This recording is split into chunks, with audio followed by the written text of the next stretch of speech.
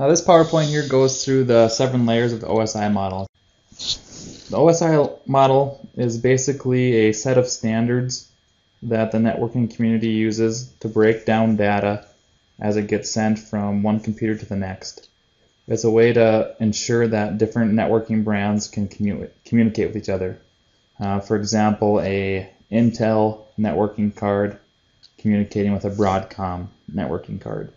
Um, if they didn't have a set of standards, each company would probably uh, break down and reassemble the data uh, different ways. So this just ensures that they're doing it in the same way, and there's seven different steps or layers uh, that it uses.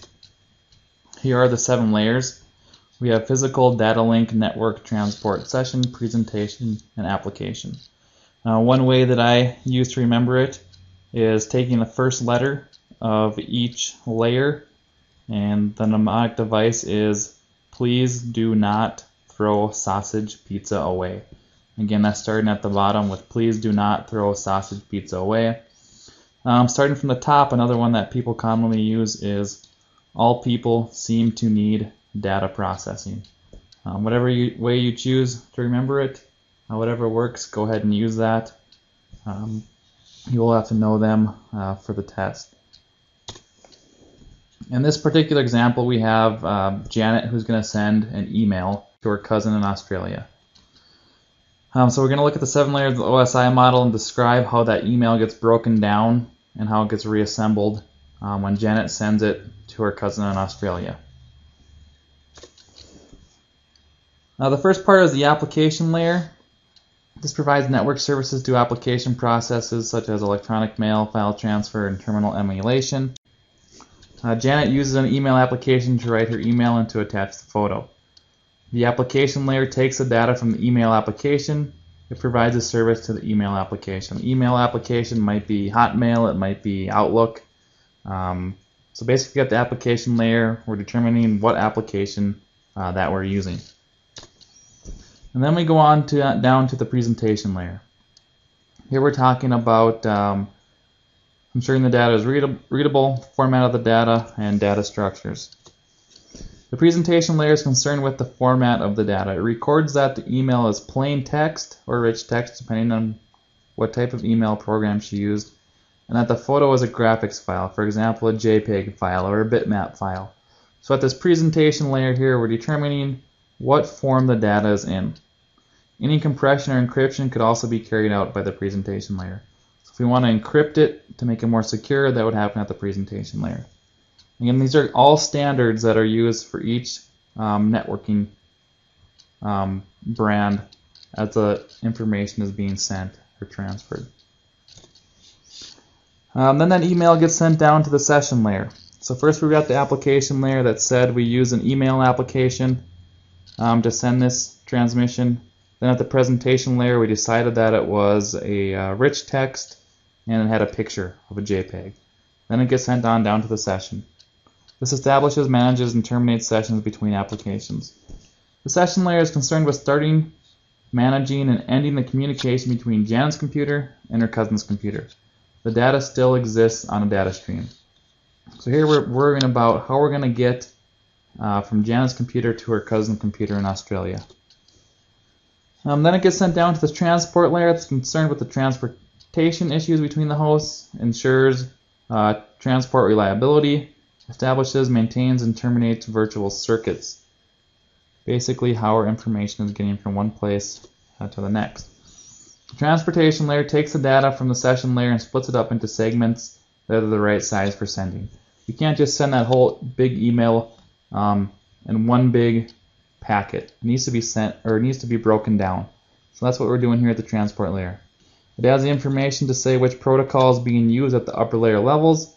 In this case, it's an email, so the email protocol is being used. remember protocols are just a language. So what language are we going to communicate our emails with? Um, that's the type of protocol that we're going to be using. In this case, it would be SMTP, which stands for Simple Mail Transfer Protocol. Um, it checks that all the segments reach their destination, which is going to be the cousin's computer. Um, the network address and best path determination provides reliable transfer of data across the media. The network layer takes the segments that we just got broken down to, It adds a header to each segment giving the IP address of Jan's PC and her cousin's PC. Um, every single computer in the world has to have a unique IP address. Um, so her cousin's computer has to have a unique IP address. We need to know that address um, to be able to send it to her computer. Um, once we add that information on there, it's called a packet now. So we went from a segment to a packet. As the packet travels to Australia, the routers along the way will look at the IP address and decide where the packet should go next. So as that packet gets sent across the internet, uh, those routers will look at it and say, okay, this is the address of it, we need to send it to this router. Okay, this is the address of it, we need to send it to this router. And so on, so on until we get, finally, to our cousin's PC. And we, again, we know it's her cousin's PC because it has that unique IP address. Um, then down to the data link layer. This provides reliable transfer of data across media, has to do with our physical addressing, network topology, error notification, and flow control.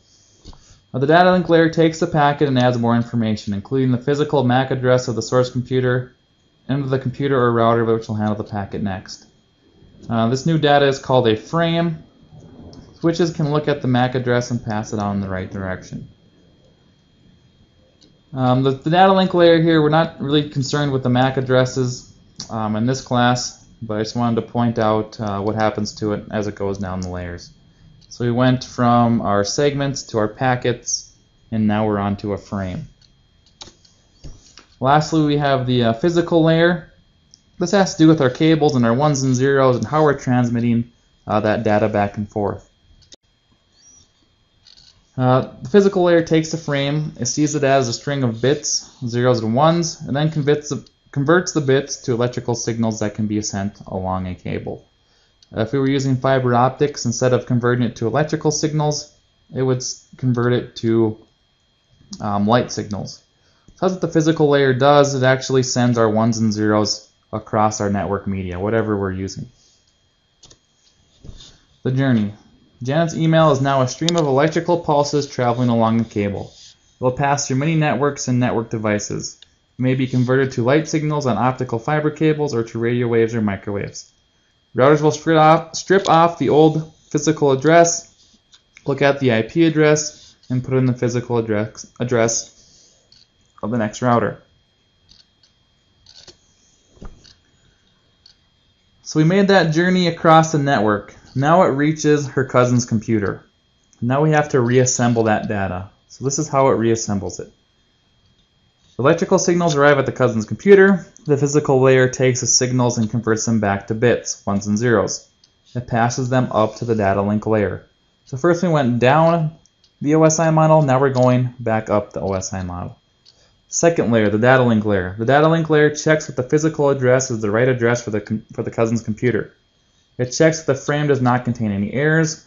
It strips off the physical address and other frame information, leaving a packet. It passes the result up the network layer.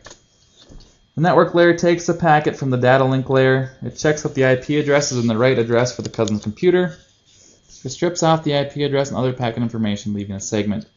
It passes the result up to the transport layer. So we keep adding more, more information uh, back onto it. The transport layer takes a segment from the network layer. It fits all the segments back together in the right order to make the data stream again.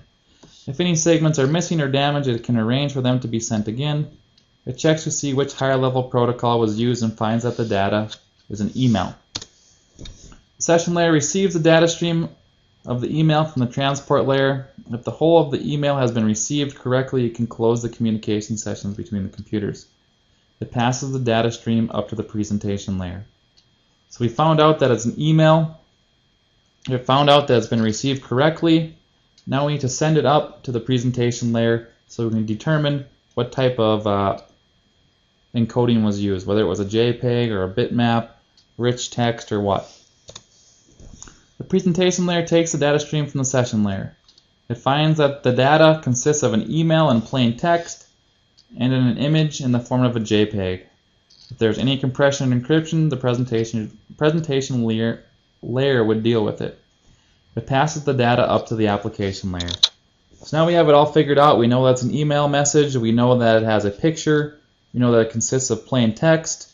Um, if there's any compression or encryption, it would have took care of that. And the last thing that we have is send it up to our application that can read that email message. The application layer receives the data from the presentation layer, gives the data to the right form uh, to the cousin's email application so that the cousin will be able to read the email and open up the attachment to see the photo. The email has traveled down all seven layers of the OSI model in Jan's computer. It then passed as electrical, light, or radio signals across many networks and through many devices. In the cousin's computer, traveled up through all seven layers of the OSI model to become an email again. Um, it seems to Jana and her, and her cousin that they are communicating directly with each other. They do not know uh, what happens al along the email's journey. They don't need to know what happens. This is just something that happens in the background. I don't expect you guys to thoroughly understand it.